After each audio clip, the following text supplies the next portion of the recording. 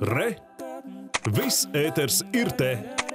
Dažiem īsti svētki nav iedomājami bez dāvanas radīšanas, no kā prieku varētu gūt daudz citi, un kas palikt arī vēsturē kā liecība par šodienas laikmetu un Latvijas sabiedrību. Un šorīt par vienu šādu muzikālu dāvanu mēs sarunāsimies ar mūziķu Kristīnu Kārkliņu. Kār, kārkli, kārkliņu. Jā, labrīt, labrīt, labrīt. Labrīt, labrīt. Um, varbūt pirms tā muzikālo tēmu, tomēr gribas pavaicāt bez rakstu rakstiem. Tiekamies šoreiz klātienē ar jums, bet tik un tā prieks tikties. Kas ir šis jūsu rīts un uh, vispār 18. novembra svinēšanas tradīcija ģimenē? Varbūt varat ieskatīt. Varētu teikt, tā tradīcija ir uh, saistīta noteikti ar koncertēšanu. Vienmēr bijusi, un tas rīts ir vienmēr bijis saviņojošs, ka tu it kā posies iedāvināt svētkus citiem, bet, protams, tu apmīļo arī savējos, jo mēs esam paši liela ģimene, un bērni arī gaida šos svētkus.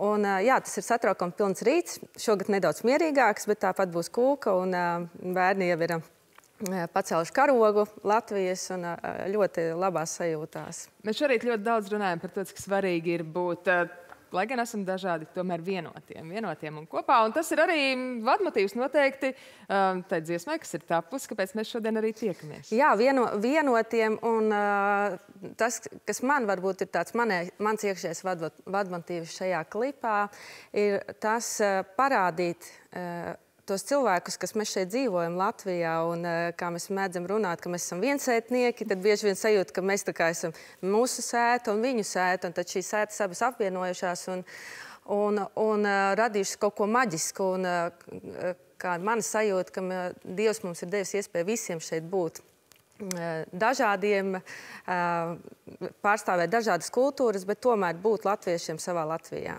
Dziesma pa saulē. Jā. Skatāmies. Paskatāmies.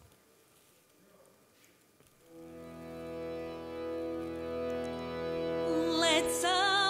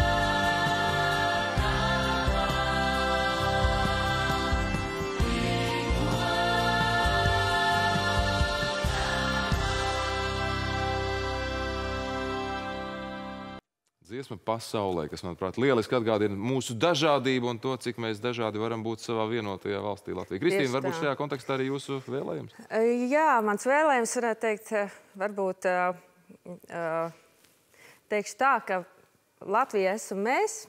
Un tas, ko es gribu šajos svētkos novēlēt, ka Dievs mums iedevis ne tikai prātu, bet arī siltu un plašu sirdi. Un šāda arī dzīve.